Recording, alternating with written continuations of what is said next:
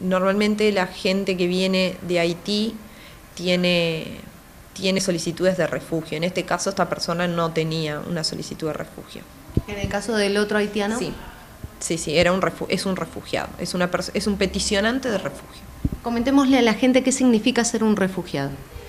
Ser peticionante de refugio implica que este país acoge a aquellas personas que en su país de origen sienten la amenaza por su integridad física, son perseguidos por ideología, por religión, por orientación sexual, entonces ellos sienten que su vida corre peligro estando en ese país, continuando en su país de origen. Entonces vienen a otros países donde esa persecución que se ejerce por parte del Estado cesaría y estas personas estarían a salvo.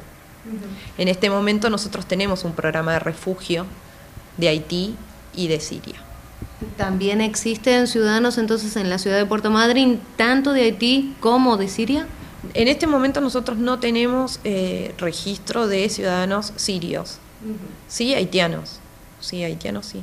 Lo que pasa es que la solicitud de refugio la pueden hacer, la hacen inmediatamente una vez que ingresan al país, o sea, la solicitud de refugio se hace o en frontera antes de cruzar o una vez que cruzan la frontera, inmediatamente en la primer delegación de migraciones que ellos, eh, tienen cerca, digamos. Entonces, quizás muchos trámites de refugio se inician en Buenos Aires, porque el ingreso es por Buenos Aires. Y cuando llegan al país, eh, llegan a, perdón, a Puerto Madryn, sus trámites, sus, sus pedidos de refugio, todos tramitan en Buenos Aires porque es el lugar por el cual ingresaron.